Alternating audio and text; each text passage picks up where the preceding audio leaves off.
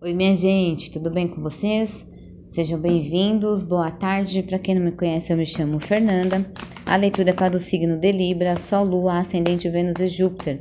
É uma leitura coletiva, não irá ressoar com todos, porém espero de alguma forma agregar valor, tá joia? Gratidão você inscrito no canal, pela confiança. Se você é novo, te convido a se inscrever. Deixe seu like, seu comentário, tá joia? Ativem o sininho para poder receber as notificações dos vídeos, ok? Vamos para a leitura. Signo de Libra, Sol, Lua, Ascendente, Vênus e Júpiter. Quais são as mudanças que vêm para vocês? Que pode ocorrer? Tá. Oito de espadas, muitos aqui do signo de Libra presos, se sentindo humilhados por algo, por alguém que agiu aí de má fé com vocês. Joia? Os enamorados, a necessidade aqui de fazer uma escolha.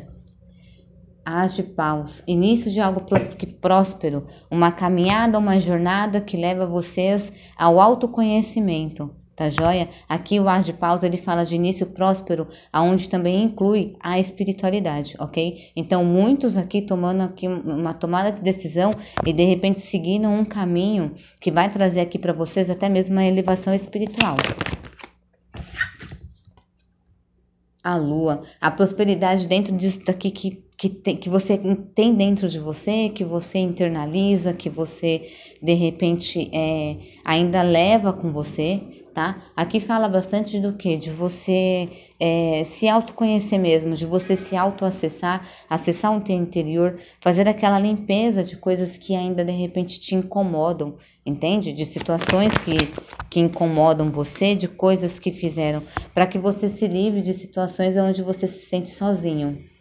Aonde você se sente aí é, desamparado, desiludido, entende? A estrela, a estrela falando aqui para vocês se olharem mais, né? Acreditarem aqui no potencial de vocês, acreditarem que é, vocês são pessoas que têm grande sucesso aí pela frente, são pessoas que brilham, que são assim abençoados pela espiritualidade. Para vocês do signo de Libra que estão se sentindo aqui nessa energia, é para vocês sempre lembrarem que a espiritualidade ela tá ali com vocês, que existem momentos na nossa vida que eles são difíceis, mas que eles servem para nós como aprendizado. Que eles vêm trazer para gente é um aprendizado. E depois da estrela a gente tem o que? A carta do eremita. Procure buscar. Dá só um minuto, gente, por favor.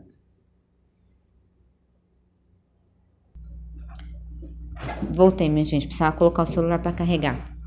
Aqui pede o quê? Para que vocês se coloquem no momento de, de solitude, no momento de reflexão, para que vocês fiquem com vocês, entende? E, e, acesse as informações que possui dentro de você, que você carregue aqui, se carregue de, de, é, de boas energias, de bons pensamentos, de boas vibrações, tá? Muitos aqui podem ter sido de alguma forma, podem ter entrado em alguma parceria com uma pessoa que era muito racional, que era muito assim, é, fria, calculista, entendeu? E de repente até negativa. Tá joia? Pode ter envolvido dinheiro aqui também. 10 de copas, minha gente, a realização emocional. Então, assim, para vocês do signo de Libra que se enquadrarem aqui nessa energia, aqui tá pedindo para que nessa semana vocês se olhem mais, vocês se retraiam, vocês façam escolha nas vidas de vocês, vocês observem o que vocês carregam de, carregam de oculto dentro de vocês, aquilo que ainda mexe no emocional de vocês, que mexe no interno de vocês, que vocês se livrem de pensamentos que façam com que vocês se sintam aí de repente sozinhos, porque vocês não estão sozinhos, entende? E qual que é a necessidade disso daqui? É, é o início pra, da jornada espiritual, realmente, você, da elevação espiritual, não é a jornada, minha gente, perdão, da elevação espiritual de vocês. Tá entendendo? Então, muitos aqui é, precisam se, se autoconhecer, precisam fazer aquela limpeza interna Tá entendendo? Porque isso faz parte da sua elevação espiritual. Não é à toa que tem muita gente, minha gente, parece que não, mas é real, sendo chamado para poder se auto-olhar e começar ali, de repente, no caminho da, da espiritualidade mesmo. E eu não falo no caminho da espiritualidade você ir numa igreja, você ir num terreiro, você.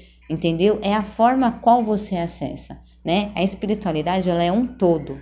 Ela é um todo, elas são todas as religiões. Se a gente pegar todas as religiões, a gente vai entender que a gente fala do mesmo Deus, a gente fala do mesmo Jesus e a gente fala das mesmas caminhadas. Mesmo em palavras diferentes, a gente, a gente sempre diz o que? A mesma coisa, né?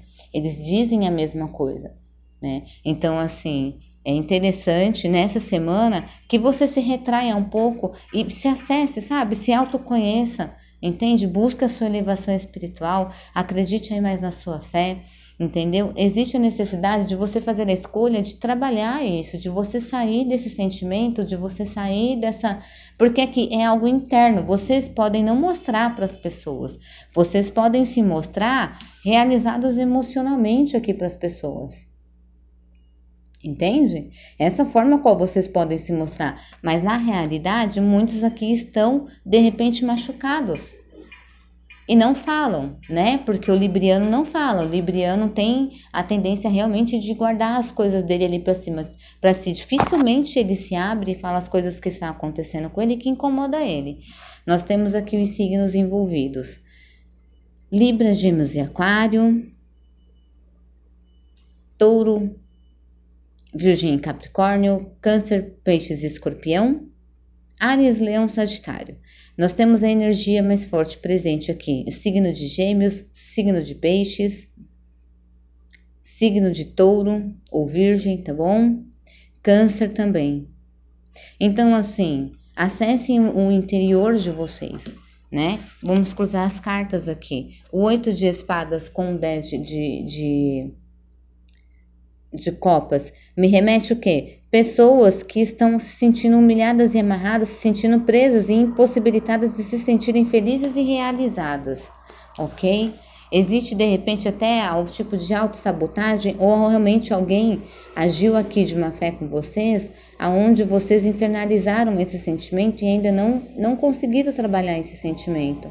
Então é preciso que você se coloque aqui num momento de solitude para que você possa se encontrar Entende? Os enamorados com a carta da estrela fala de uma escolha de sucesso. Existe um sucesso na sua vida. Existe de repente a escolha do caminhar junto com a espiritualidade. Então é uma escolha que você precisa fazer. Para qual lado você vai? O que é que você quer da sua vida? Entende? O que é que te aborrece que você ainda não superou, que você precisa superar?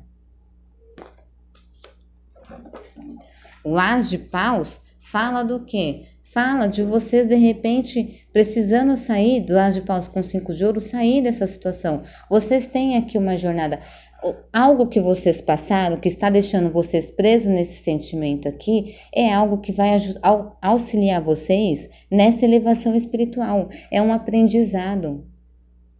É um aprendizado. Muitos dos signos de Libras passaram por situações das quais foram colocados de repente para poder ter um aprendizado. Tá joia?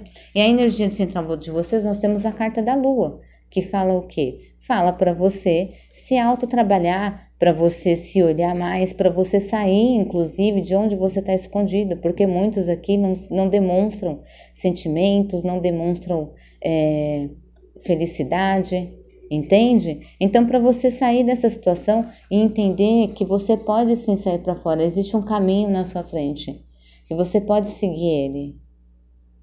Não se deixe dominar pela, pelas emoções que estão é, internalizadas, entende? Aquelas coisas que estão mais ali ocultas. Não, deixe, não se deixe se dominar por isso, entende? Porque é como se é, é esses sentimentos ou essa situação, ela tivessem um magnetismo sobre você.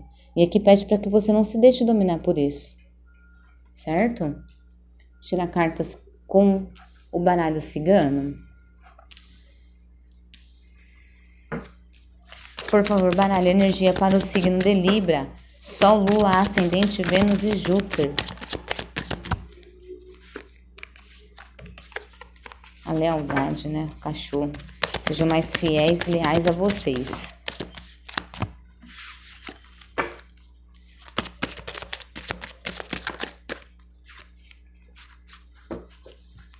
Signo de Libra, Sol, Lua, Ascendente, Vênus e Júpiter.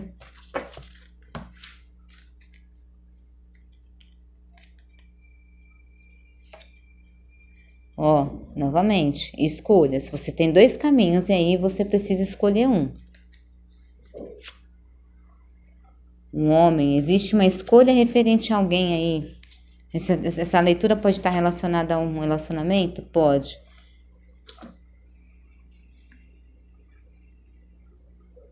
Existe alguém no caminho de vocês que está atrapalhando vocês nessa escolha e está desgastando aqui a energia de vocês. Existe uma pessoa aqui no caminho de vocês. E essa pessoa, ela traz aqui um certo desgaste. Um certo desgaste na vida de vocês aí. Tá? Vocês librianos. Tem alguém no caminho de vocês, ou vai aparecer alguém no caminho de vocês que vai trazer aqui para vocês esse, esse desgaste. Cuidado. Presta atenção nas suas escolhas, ok? Uma delas é muito positiva para vocês, a outra Talvez só venha te trazer aqui dor de cabeça. Tá joia? Signo de Libra, Sol, Lua, Ascendente, Vênus e Júpiter. Cartas conselhos com baralho do Oxo, tarô do Oxo.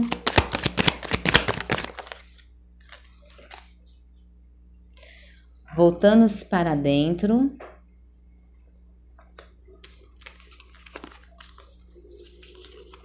Peraí que tem carta que ela tá em cima da outra. Olha só. O silêncio. A culpa. Os amantes. Aqui diz o seguinte, que não é para você carregar a culpa em algo. Não é para você se sentir culpado por algo ou por alguém ou por qualquer outra situação que você tenha passado. Você tá entendendo? É para você, lembra que você é a carta do eremita? Procure-se é, estar com você, procure voltar para você, faça meditações, ouça músicas que relaxem a sua mente, que te liberte do sentimento de culpa. Existe, de repente, aqui um sentimento de culpa que não sei se colocaram em você ou se de repente você teve aqui alguma atitude da qual hoje você carrega talvez esse sentimento de culpa. Você tá entendendo? Mas é preciso que você se liberte, que você de repente pense que você agiu de X forma, porque naquele momento era a forma que você sabia agir. E ponto final, mas que, né, a gente precisa seguir, não dá para ficar carregando a culpa, porque a culpa ela imobiliza a gente. Você tá entendendo? E a gente pode estar tá falando sim de alguém, ó. Saiu os amantes, saiu os enamorados. Os amantes no tarot do Osho, ele é os enamorados. Que fala do amor, que fala do amor incondicional, que fala do amor na, na sua essência mesmo, entende? Não é só aquela coisa de carne, sabe? Não é aquela, porque a gente tem aquela visão de amor que é aquele casal perfeito, né? Que nada vai acontecer e, e lá, lá, lá, aquelas histórias românticas que a gente assiste nos filmes de comédia romântica. E não é nada disso, né? Na, na hora que você for ver ali a ferro e fogo, na, no real mesmo, não é assim. O amor, ele nada mais é algo que você. Ele é um, ele é um todo, né? Ele tá dentro do todo, então ele é aquele momento em que você sabe sentar e conversar com a pessoa, que você consegue compreender o ponto de vista dela, que ela também consegue compreender o ponto de vista seu, que ambos se ajudam no momento de dificuldade. Então, isso aqui realmente é uma demonstração de amor. É aquela pessoa que tá ali sempre do seu lado, dentro do que se tá bom, se tá ruim, a pessoa tá ali, ela não te abandona, ela tá aqui falando, não, vamos junto, vamos caminhar junto, a gente vai crescer junto. E é assim. E assim a gente segue.